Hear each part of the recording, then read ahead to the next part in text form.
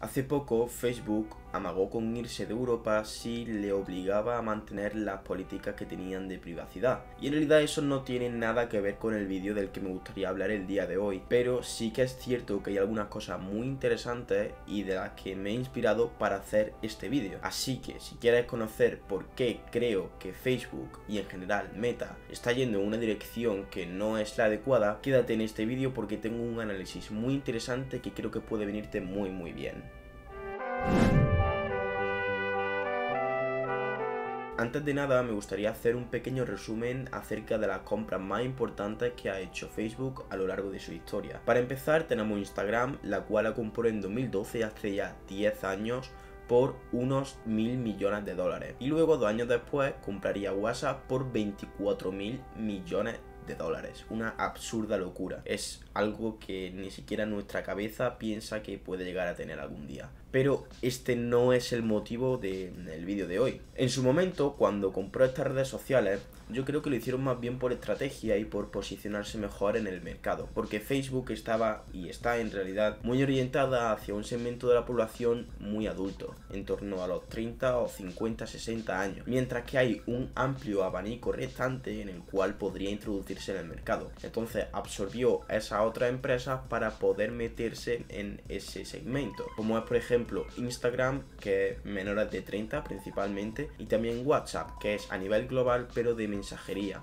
y también con cualquier tipo de rango de edad. Por lo tanto, Facebook se aseguraba que podía estar en cualquier rango y en cualquier parte del mundo. Esto en un principio tiene mucho sentido y está muy bien planteado, pero conforme pasaba el tiempo se están equivocando cada vez más y más. Principalmente porque cada aplicación tenía su propio contenido y su propia explicación del por qué existía. Por ejemplo, en Instagram, foto y vídeo. En WhatsApp, mensajería. Y en Facebook, pues compartir posts con amigos y cosas así. No era tampoco muy distinto en Instagram en realidad. ¿Qué ha pasado?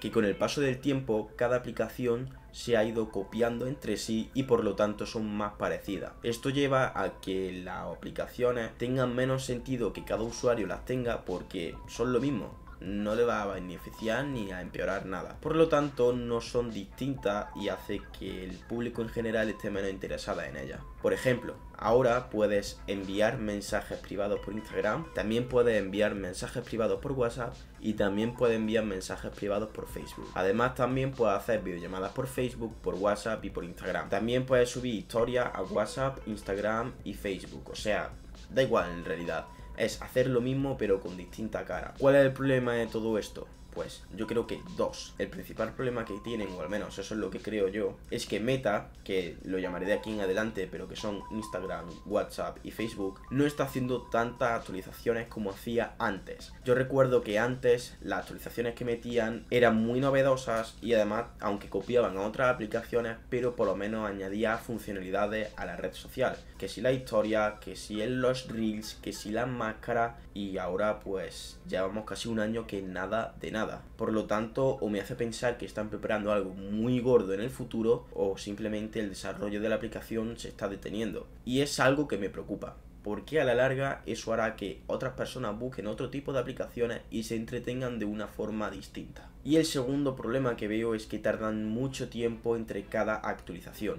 Es decir, no solo tardan mucho, sino que además el tiempo que tardan, las novedades son muy pequeñas. Estamos viendo, por ejemplo, como aplicaciones de la competencia, como pueden ser Telegram, está usando algunos elementos que ni siquiera tiene WhatsApp. Por ejemplo, en el tema de los stickers, Telegram creo que se adelantó un par de años. Y todas estas cosas son pequeños detalles, pero que cuando lo ves con perspectiva, te das cuenta de que Meta está muy atrasado y de que Facebook tiene un grave problema. Por lo tanto, a mí no me suele gustar mucho hablar de problemas sin encontrar su solución y creo que la solución pasa por una remodelación completa de Meta. Para empezar, hay que reconocer que ya no hay que empezar a usar las aplicaciones por dividido. Creo que Meta tendría que ser lo mismo, pero usado en distintas ocasiones. Me explico. Cuando se quiere usar mensajería, usar WhatsApp. Por lo tanto, el Instagram Direct y el Messenger de Facebook los eliminaría y cuando diera al botón de enviar mensaje directamente te redirigiera a WhatsApp y que de esta forma no tuvieras que saber por ejemplo el número de teléfono de esa persona o también podrías saberlo pero si lo tuvieras en tus contactos. Son